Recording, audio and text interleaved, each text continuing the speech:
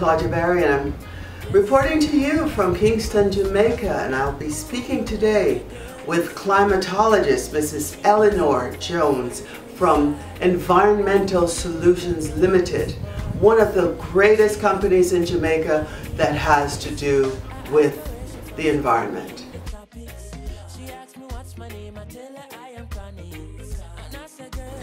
Well, we're speaking to you from a small island developing state within the Caribbean.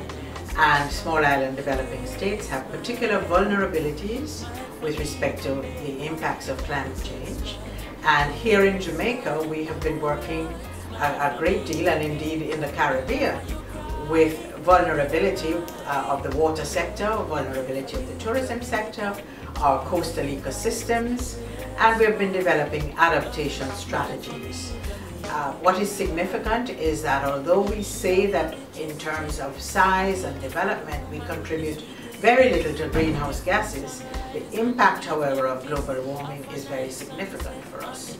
And therefore, we realize that the new climate systems are emerging, they're becoming more entrenched, and our vulnerability is becoming increasingly exposed.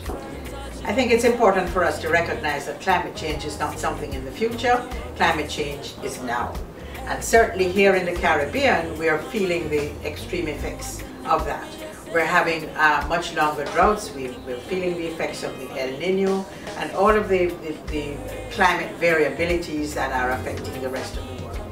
Uh, we're, we're having floods and we've even had our spate of fires as a consequence of, of long dry periods. Fires which, as, as you all know, are typical of, of, of climate, changing climate.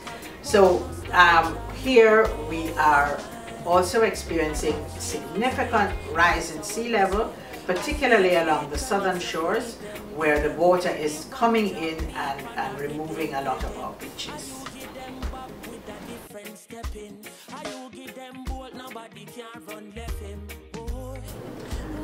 The greatest crisis facing the world today, I think relates to, well, I'm speaking from small island developing states, uh, extreme events, floods, droughts, as we're seeing happening all over, unusual and variable climate patterns, rainfall when you don't expect it, drought when you don't expect it, or, or more so.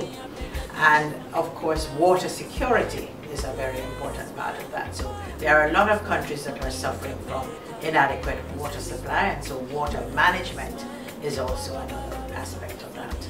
And of course, food security, which goes hand in hand with water and with rainfall um, occurrence. The, the crisis relates to the extreme variability in, in, in weather um, in terms of extremes in rainfall, extremes in, well, in rainfall in terms of floods and droughts. Those are, those are significant issues.